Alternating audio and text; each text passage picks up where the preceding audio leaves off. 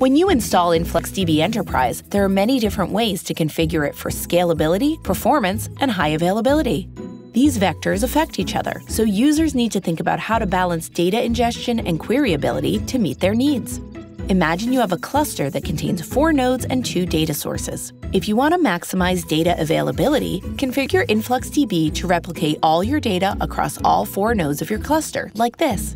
This replication approach increases your ability to query that data because different queries can access the same data simultaneously. However, optimizing replication lowers the total max data ingest rate. So if you want to prioritize data collection, you can allocate series among the nodes of the cluster like this. This allows you to collect more data, but each series only exists in one place, so it has less availability. You can only run one query at a time on each series. Many users need to find a middle ground that balances data ingest and query speed. In this configuration, each series replicates across two nodes each, like this. This configuration doubles the data ingest rate and the concurrent query rate, while still providing data redundancy benefits.